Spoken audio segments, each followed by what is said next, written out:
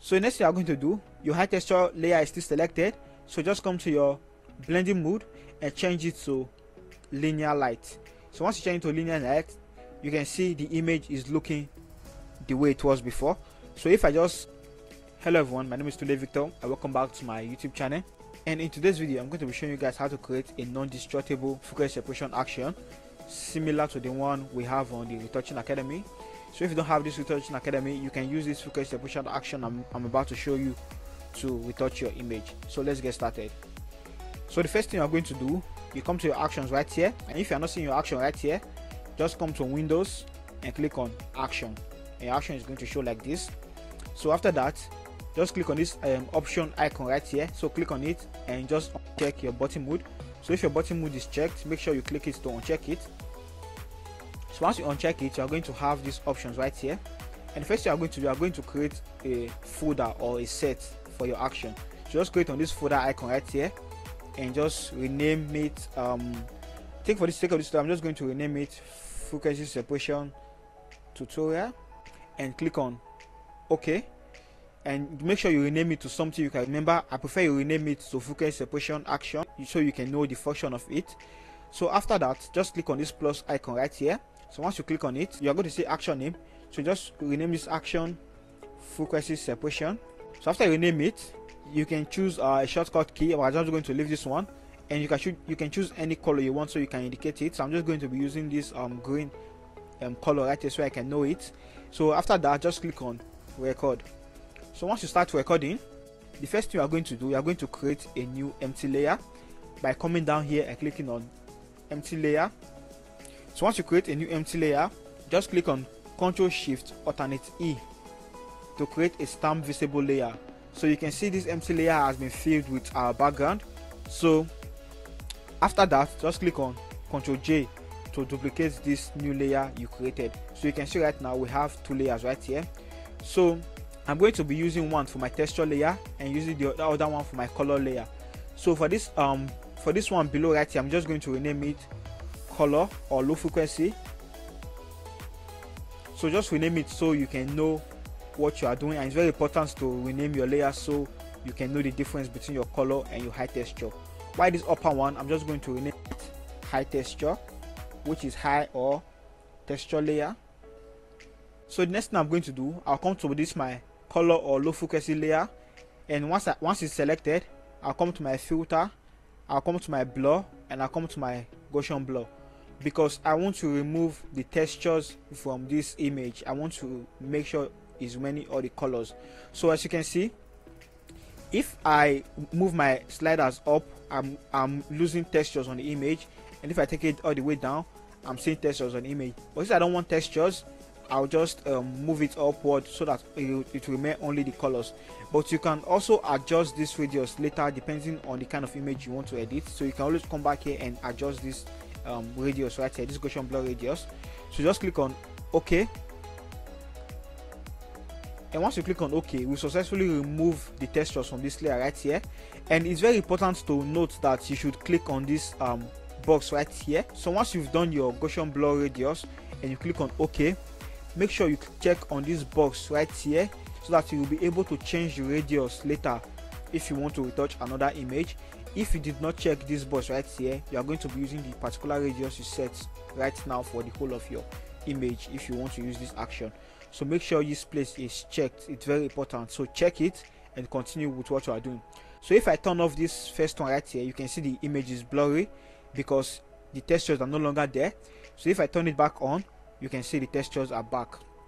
So next thing i'm going to do i'll come to my high texture and i want to i want to remove the colors from this high texture. So to do that once my high texture layer is selected i'll come to my image and i'll come to my apply image. Going to show me this option right here.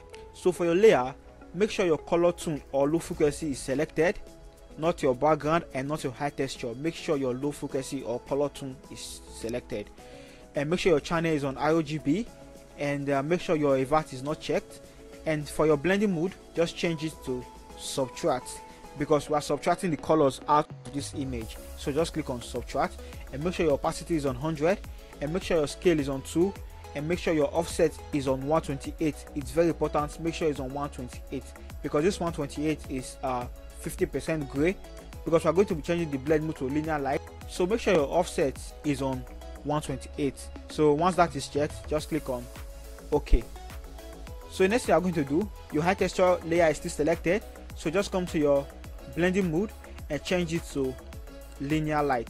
So once you change it to linear light you can see the image is looking the way it was before. So if i just turn off these um, two layers which i created you can see the image before.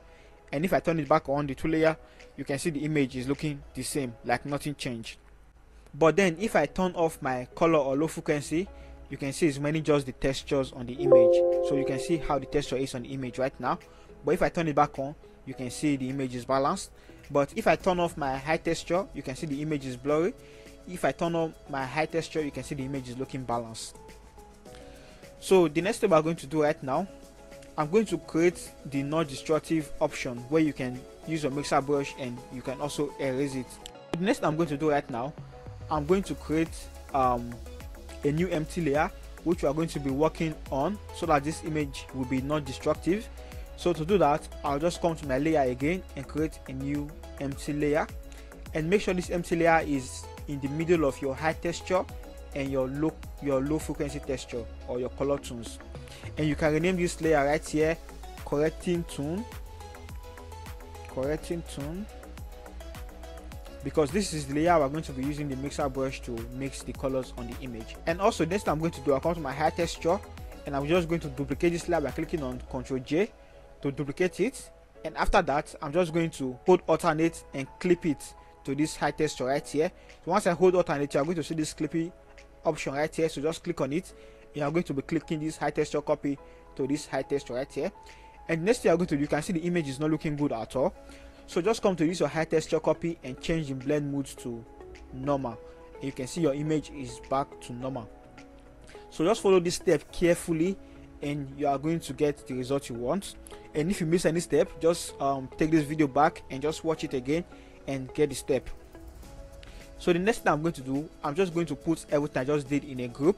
Click on this first one right here and hold shift and click on this last one right here to select all of them or if you want to select it one after the other you can just hold control and click them one after the other to make a selection.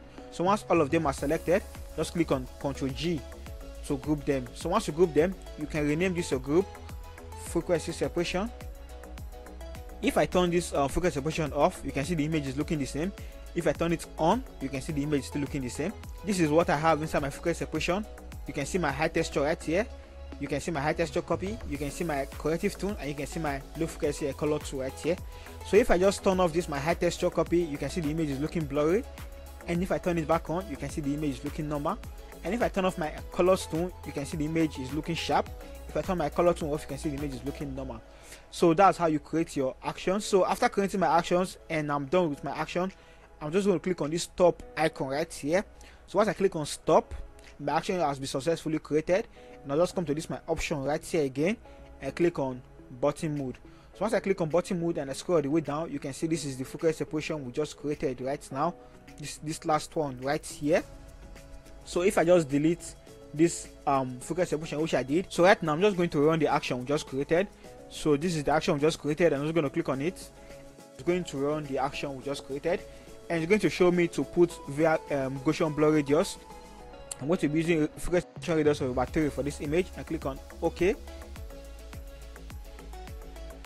And this is the frequency separation action just created. You can see right here. Instead of starting from the scratch, you can just run it and create your own frequency separation like this. So after running the frequency separation, if you want to use a mixer brush, just pick your mixer brush tool.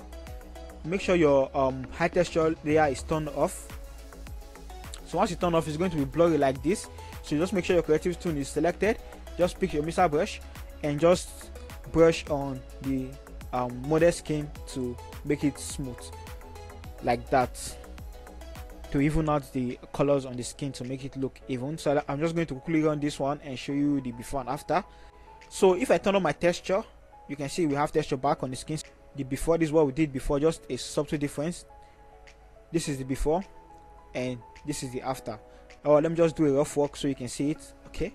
Yeah so this is the before and this is the after. So you get the point. and if you make a mistake you can just pick your eraser tool and just re remove the um, mistake.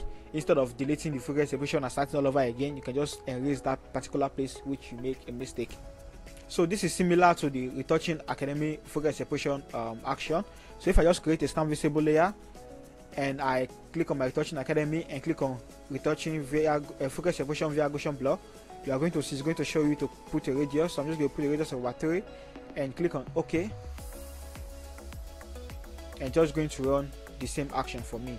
So these are high frequency texture these are high frequency these are corrective tone and these are low frequency texture. So guys i hope you learned something for this video. If you do make sure to give this video a like so that more people can see this video and learn from this video as well. I'll see you guys in my next video. Stay creative